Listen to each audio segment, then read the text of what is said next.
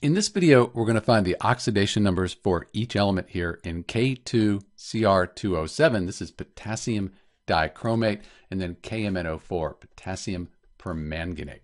So let's do the potassium dichromate first. We know that all of the oxidation numbers, they're going to add up to zero here because this is a neutral compound. It's not an ion. It doesn't have a negative or a positive sign after it. So they're all going to add up to zero.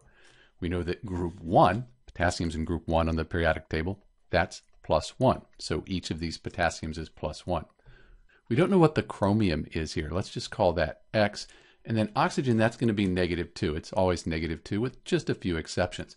So again, we know all of this is going to add up to 0. So we could say 2 times 1 plus, that's 2 plus 2 times X, since we don't know what the chromium is. And then 7 times negative 2 is minus 14. All of that, that equals the 0 for our neutral compound. Now we just do the math. 2x equals 12, x equals 6. That's a positive 6. So the oxidation number for the chromium here, each chromium atom in K2Cr2O7, that's going to be plus 6. So that's how you find the oxidation number for each of these elements here in K2Cr2O7, the potassium dichromate. Let's do the potassium permanganate here.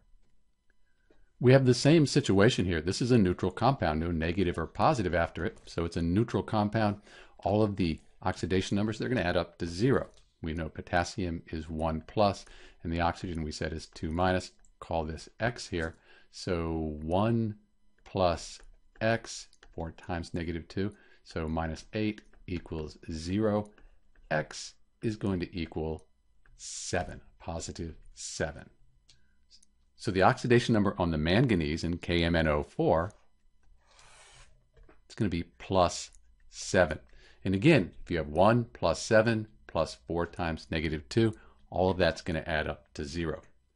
In this case, you might have been able to see that you have a negative 8 and a positive 1, so this has to be a positive 7.